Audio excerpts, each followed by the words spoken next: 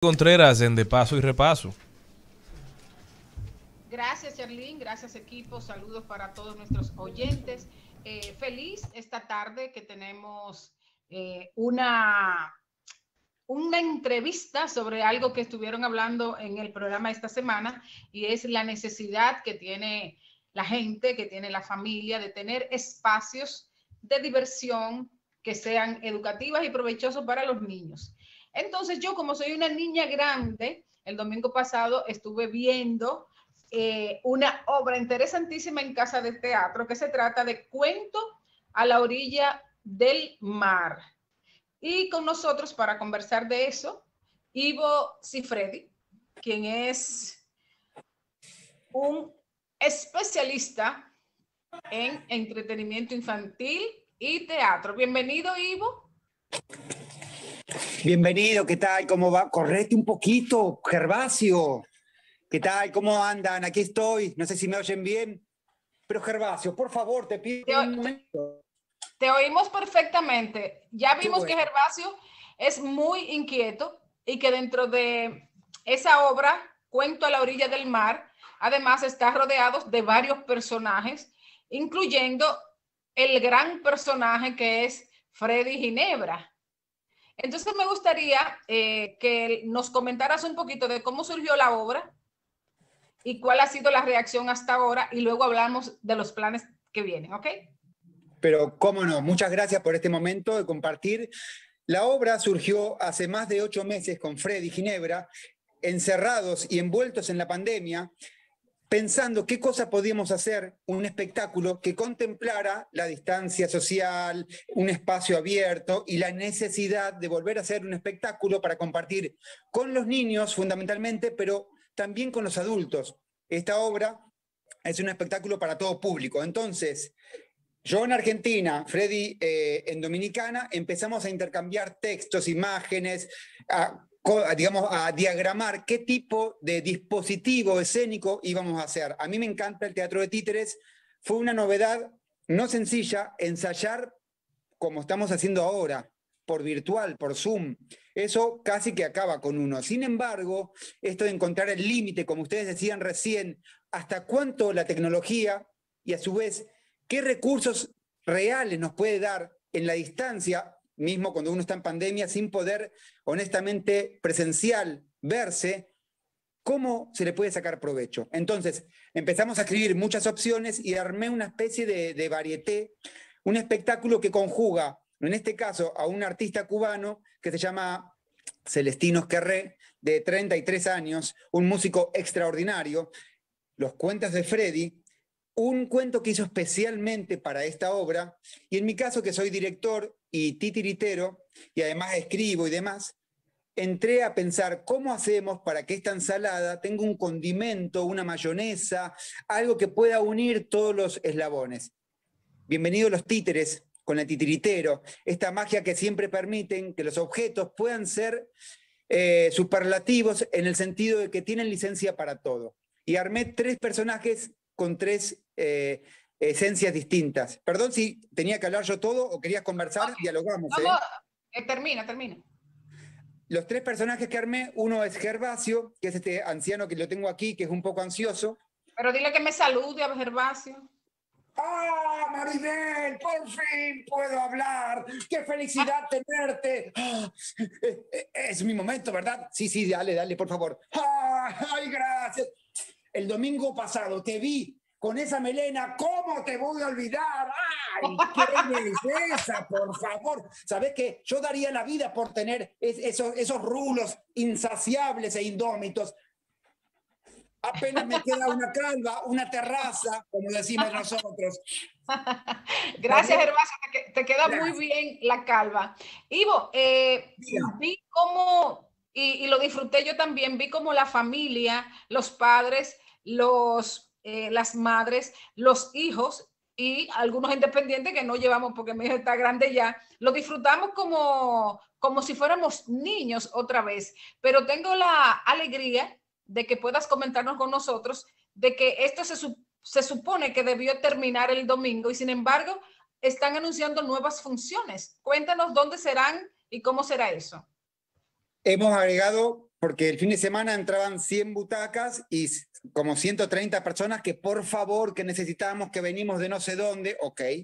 Entonces agregamos el domingo que viene, 6, a las 6 pm en Casa de Teatro, una función que va a ser la última aquí en la ciudad, donde vamos a estar con este personaje de recién, otro que es El Principito, porque bien comentabas vos, esta obra tiene la particularidad de que es para niños y muchos guiños para adultos. El Principito es un cuento fabuloso que, a ser sincero, tiene más repercusión y capacidad de absorber todos los, planteos, conceptos en un adolescente, en un niño de 8 o 9 años y también en los adultos.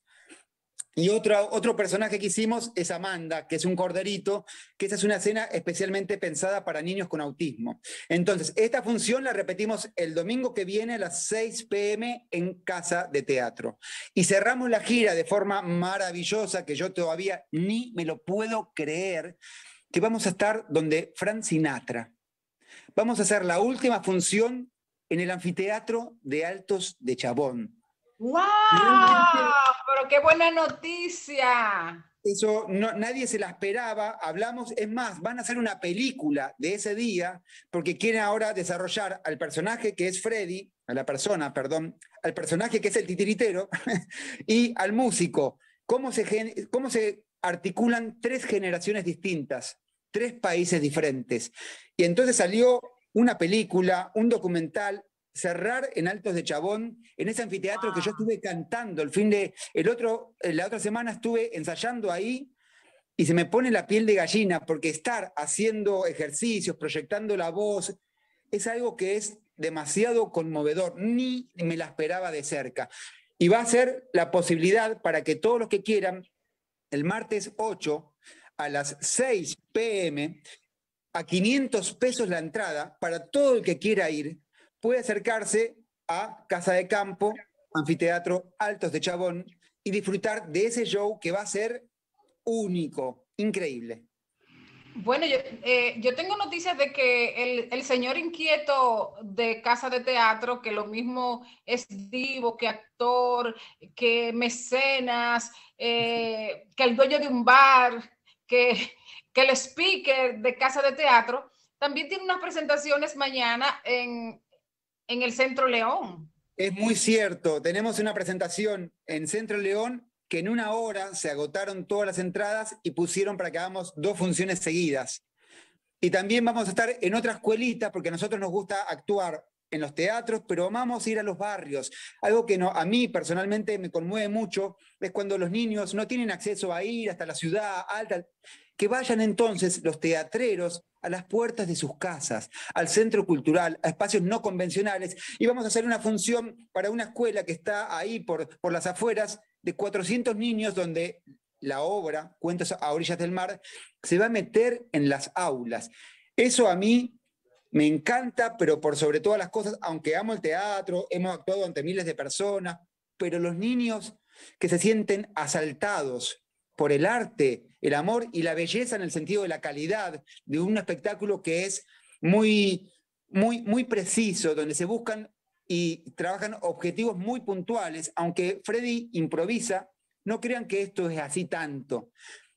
Entonces, esas funciones de mañana están full, ya es gratuita, quedan algunas, creo, algunos pases para el Centro León porque todavía todo el mundo nos enteró que a las 5 ya se agotó, pero que a las 6 hay otra función de cuentos a orillas del mar. Así que todavía es probable que estén a tiempo, pueden entrar a la página del Centro León y ahí reservan directamente. Ivo, ya tenemos que cerrar, pero no sin antes que, que nos despierte un poquito la imaginación ahí con el señor Gervasio. Ay, pero usted me va a enamorar, más aún de lo que fue el domingo. Sepan que un anciano que está aquí con otro ancianito hermoso que es don Freddy Ginebra, hemos hecho una dupla, un partener que es como que juegue Messi y Ronaldinho en el mismo equipo. No se puede creer. Una maravilla. Actuar con Freddy, de verdad que yo me siento, es un lujo que cuántos artistas quisieran estar ahí. Y yo siento una responsabilidad y es con este señor, Gervasio y con Freddy y el músico que hacemos esa magia, junto a Raúl Martín, que es otro cubano que está trabajando con nosotros, y de verdad que lo que hacemos nos descontrola de alegría el corazón. Muchísimas gracias, Ivo. La verdad que uno sale de, de esa obra con, con, el alma rebosada, uno regresa a la niñez, se ríe, juega. Bueno, yo tuve tanta buena suerte que la señora de al lado me buscó unas palomitas de maíz. O sea que uno se puede encontrar con gente tan amable que vaya a comprar palomitas y te entregue las tuyas. Muchísima suerte, abrazo grande a Freddy. ¡Ah! Mira quién está aquí. No me podía despedir sin decirles gracias por este momento. ¡Ay, tan bonito! Al principio estaba enojada, pero ahora me emociona verte ahí. Los esperamos y hasta pronto, mi querida Gracias por este momento de compartir aquí junto a todos ustedes. Me encanta tu peinado porque se parece al mío, así que volveré a verte. Equipo, suyo el micrófono. Qué interesante esta charla, qué chulo. Gracias, Ivo, por esos personajes que has estado transmitiendo esa muy buena energía. Gracias, Maribel. Como siempre, nosotros pasamos un fin de semana espectacular con el más buen mozo. Diga usted adiós. Bueno, señores, eh, para nosotros fue un placer traer esta propuesta toda esta semana. Regresamos el lunes, como siempre. Hasta el lunes. Tengan un buen fin de semana, que hoy es viernes, pueblo dominicano. Hasta aquí